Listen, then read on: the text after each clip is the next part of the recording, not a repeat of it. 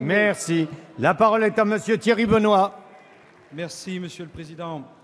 Monsieur le Premier ministre, ce matin, vous avez réuni à, à Matignon l'ensemble des élus territoriaux et parlementaires de Bretagne pour une réunion importante qui avait trait à l'écotaxe et au pacte d'avenir pour la Bretagne. Vous avez annoncé, Monsieur le Premier ministre, ce matin la suspension de la mise en œuvre de l'écotaxe et au groupe UDI, nous apprécions cette décision comme un geste d'apaisement qui est le bienvenu. Monsieur le Premier ministre, ce matin, j'ai eu l'occasion, puisque j'ai participé à la réunion que vous avez organisée, au nom du groupe UDI, de vous faire des propositions que je souhaiterais rappeler ici lors de cette séance des questions d'actualité. Tout d'abord, Monsieur le Premier ministre, je pense qu'il faut immédiatement travailler au contenu du pacte d'avenir que vous avez souhaité pour la Bretagne, avec plusieurs axes de travaux, et je veux ici en rappeler les principaux leviers. Premier axe, travailler à la mutation industrielle des entreprises de Bretagne, non seulement des entreprises agroalimentaires, mais de l'ensemble des entreprises industrielles.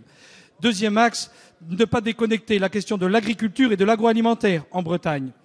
Troisième point, redonner de la compétitivité aux entreprises de Bretagne, notamment à travers l'ajustement des modalités du crédit d'impôt compétitivité emploi qui bénéficie aussi aujourd'hui à la grande distribution et qui pourrait être redéployé vers l'outil de production industrielle.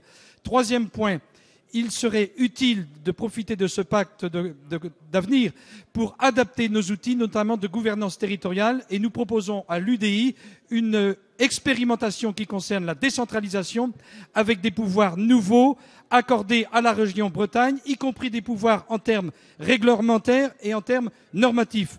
Et enfin, Monsieur le Premier ministre, j'aimerais que vous puissiez très rapidement faire des propositions qui concernent Bretagne à grande vitesse pour aller jusqu'à Quimper. Voici nos propositions, Monsieur le Premier ministre. Êtes-vous prêt à donner suite à ces mesures? Merci. Merci. La parole est à Monsieur le Premier ministre. Merci, Monsieur le Président. Monsieur le député Thierry Benoît, d'abord, je voudrais vous remercier.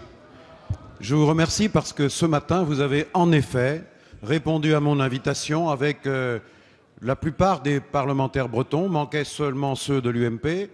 La quasi-totalité des présidents du Conseil euh, généraux étaient présents, ainsi que le président du Conseil euh, régional. Manquait un président de département appartenant à l'UMP. Et vous, vous avez souhaité être présent, non pas avec une étiquette politique, mais représentant de tous euh, ceux qui vous avaient élu et même ceux qui ne vous avaient pas élu. Et c'est le rôle de la représentation nationale dans un esprit républicain et pour essayer d'avancer vers des solutions.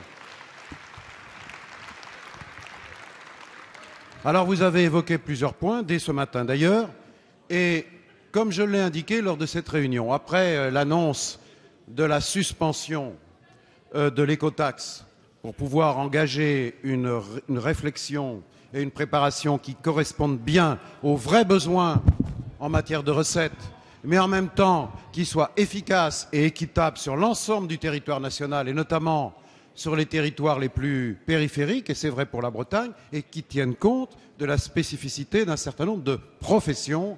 J'ai cité notamment les professions d'agriculture et de la pêche, mais il y en a d'autres qui sont concernées. Ce travail, il faut le commencer tout de suite, à la fois à l'échelle nationale, et le ministre des Transports va le faire, Frédéric Tuvillier, ainsi que le ministre Stéphane Le Foll pour l'agriculture, mais il y a une singularité bretonne qu'il faut absolument aborder maintenant dans le dialogue. Puisque ce dialogue était aujourd'hui interrompu, j'ai donné les raisons, il va redémarrer. J'en suis convaincu.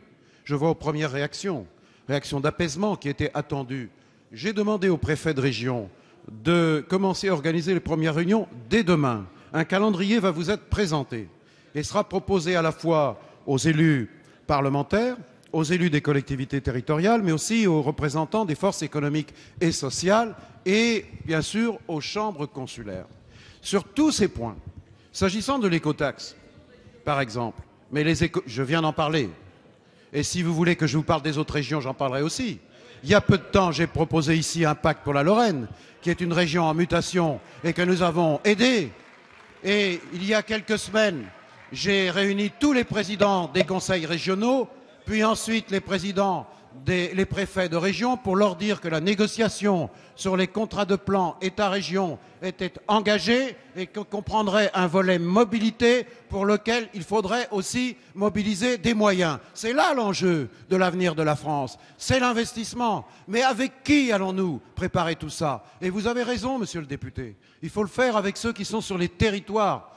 Car les années de décentralisation, de réformes engagées depuis euh, François Mitterrand ont porté leurs fruits. La France d'aujourd'hui est différente.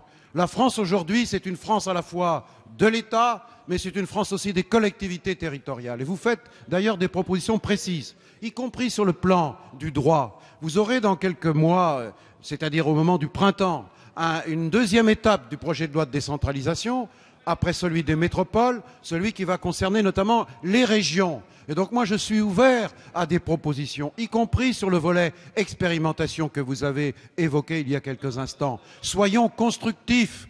Donnons tous les moyens aux acteurs des territoires de jouer totalement leur rôle au service des territoires, de leurs habitants, de leurs acteurs économiques et sociaux. C'est ce qu'ils attendent. Et c'est ça le respect de l'État des Françaises et des Français. Et dans les territoires, il y a des centaines, voire des milliers d'initiatives de volonté, d'intelligence, et il y en a notamment en Bretagne. Alors les deux plans que j'ai proposés, le plan pour l'agriculture et l'agroalimentaire, eh bien il faut le mettre en œuvre. Vous avez évoqué par exemple, et le pacte pour l'avenir de la Bretagne, il faut le mettre en œuvre, tout ça est sur la table. Vous avez évoqué la grande distribution. Mais oui, vous avez raison.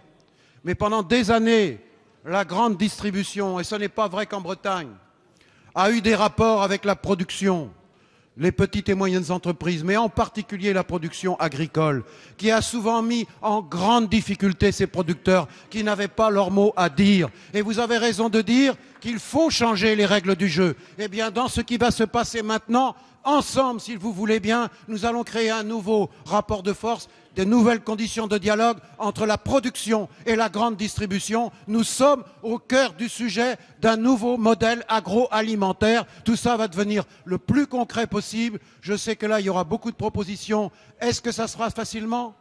Est-ce qu'il n'y aura pas des résistances? Bien sûr qu'il y en aura. Je voyais l'autre jour les représentants des grands centres de la distribution euh, actionner les sirènes d'alarme dans leur établissement, par solidarité avec ceux qui s'opposaient à l'écotaxe.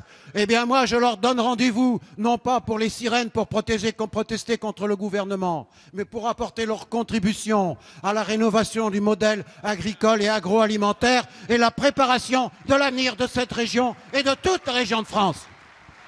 Merci, Monsieur le Premier ministre. La séance des questions au gouvernement est terminée. La séance est suspendue.